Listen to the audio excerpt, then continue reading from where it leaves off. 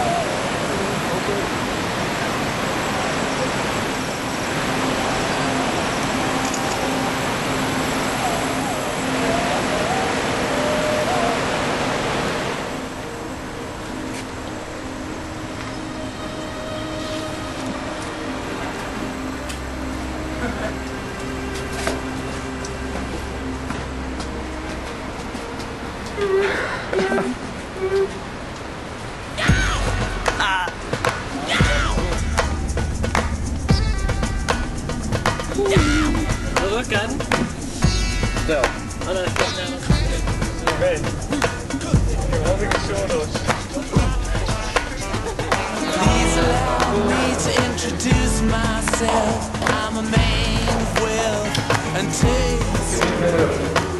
I've been around for